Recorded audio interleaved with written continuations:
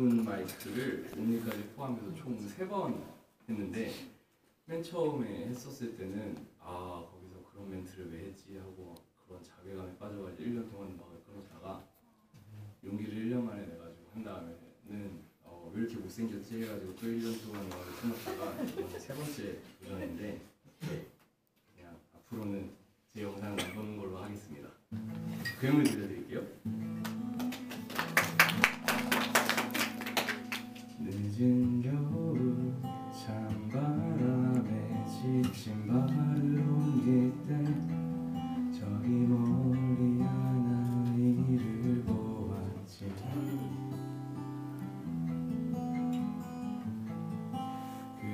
맨날 바라보며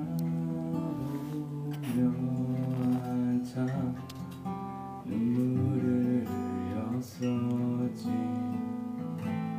길을 잃은지 누구 기다리고 있는 중인지 걱정스러워.